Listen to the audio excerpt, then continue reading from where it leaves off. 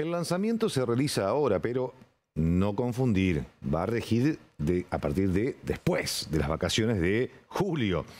Eh, de cualquier manera, obviamente las agencias de turismo, tanto de, Santa Fe como de Entre Ríos, están muy contentas porque esto se oficializó hoy y están agrupadas en ACEAVIT y Fabricio Meilo tiene la gentileza de atendernos. Contentos, nos imaginamos, porque ya es oficial, hoy en el boletín fue publicado y se viene una nueva etapa del previaje.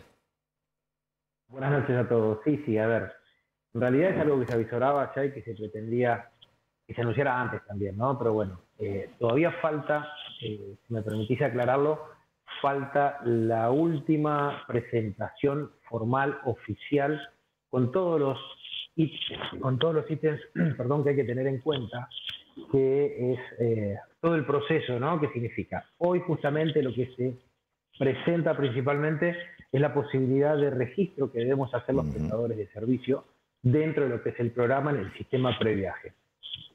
Resta todavía definir, que es importantísimo, cuándo vamos a poder ya generar ventas, donde esas, esas ventas permitan al pasajero ya registrar su compra y poder utilizar el previaje al futuro, al futuro destino que vaya.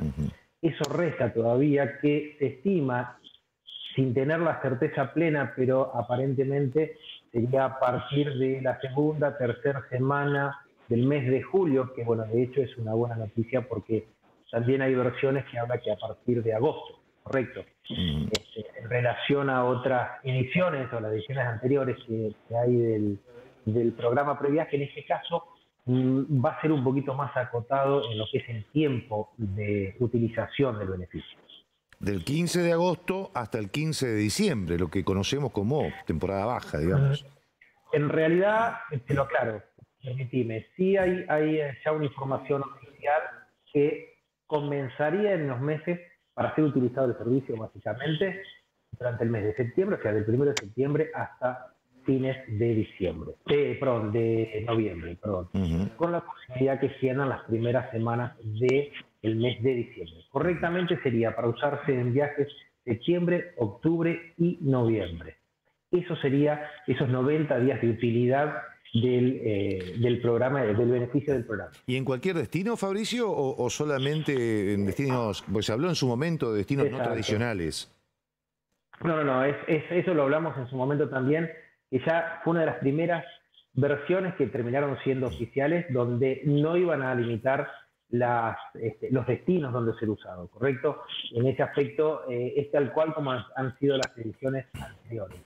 Después el resto de lo que es el proceso de registro por parte de los prestadores, el registro por parte de los pasajeros, el registro que deben hacer de la facturación y demás es tal cual como se este, llevó a cabo en los años anteriores, ¿no? en, las sesiones anteriores. Y de hecho, este, en, ese aspecto, bueno, también respeta el monto monto permitido de hasta 100 mil dólares por factura generada, ¿no? Para obtener el, beneficio del, reintegro. Mm. Pero bueno, el mismo formato, pero con la principal este, característica que el tiempo es acotado. Convengamos que de hecho, eh, durante todo este 2022 eh, se han generado muchos viajes sobre la edición del año pasado. ¿Me, me, explico? ¿Se acuerdan mm. que era poder el año pasado en la segunda edición del previaje utilizarlo durante todo este 2022. Pero bueno, esta tercera edición, donde ya hablamos de una cierta normalidad, donde no es solamente el objetivo del previaje generar demanda nuevamente, ¿eh? que fue el principal objetivo que tuvo el previaje en su origen, hoy también está la inversión de infraestructura de la prestación de servicios. ¿Correcto? También tiene ese objetivo que, este, eh, obviamente, como siempre decimos, donde mayor viajes hay, mayor inversión hay, este, mayor movimiento de dinero genuino este, ingresa, ingresa a cada arca del municipio, de la provincia, y bueno, eso es parte del objetivo que tiene esta tercera edición. En general, eh, según la información que tienen ustedes, la última, Fabricio, eh, no va a cambiar gran cosa, digamos, ese monto que, es, que uno le devuelve en el 50%, ¿lo va a poder ocupar más adelante o lo va a tener que ocupar, dentro de esos tres meses? ¿Hay un cambio en ese sentido no? Ahí sí, eh, vuelvo a aclarar, esto se, falta oficializarlo, pero sí, se habla de que va a ser el fondo que uno va a utilizar, y que, o mejor dicho, que no utilice en ese viaje, va a vencer el día 31 de diciembre del 2022. Correcto. Que, Recuerden que esto, esto, estos viajes eh, siempre han servido para pago de prestaciones de servicios, que de hecho muchos pasajeros, lo vemos no a diario, pero lo vemos con nuestros clientes, eh, tenemos pasajeros que tienen su dinero todavía en su tarjeta de, de previaje que lo van a utilizar una vez que se active este nuevo previaje 3.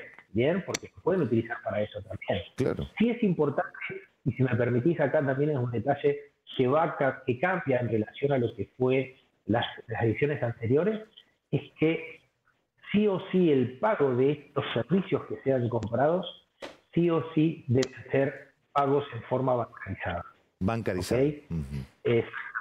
Debe ser bancarizado. En relación a las otras dos ediciones donde el pasajero podía venir y pagarlo en efectivo acá. Hoy día lo puede hacer mediante tarjeta de crédito, tarjeta de débito, transferencia, pero sí es una de las exigencias. Fabricio, Esto que estamos hablando va a ser oficializado. ¿no? Bueno, por eso, cuando tengamos ya más, más definiciones, ya se sabe lo, general, digamos, cuando haya más precisiones en, la letra chica, bueno, nos, volveremos a comunicar, pero la expectativa ya está. Absolutamente. Ya está lanzado, faltan este, definir los detalles, pero esto ya está. Te agradecemos mucho esta comunicación, Fabricio. Muchísimas gracias a ustedes y como siempre, a sus órdenes. Muy amable, gracias. Buenas noches. Gracias.